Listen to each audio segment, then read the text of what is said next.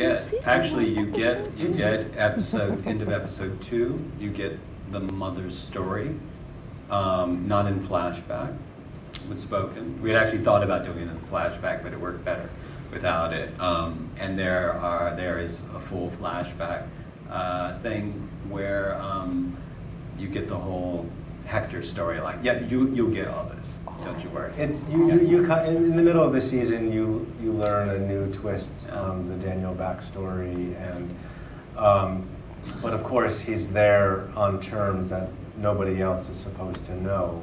So his keeping it hidden from others Mm. also functions in part to sort of keep it somewhat hidden from the audience. Yeah. But it does get it does get parsed parsed out a bit. Awesome, thank you. And this can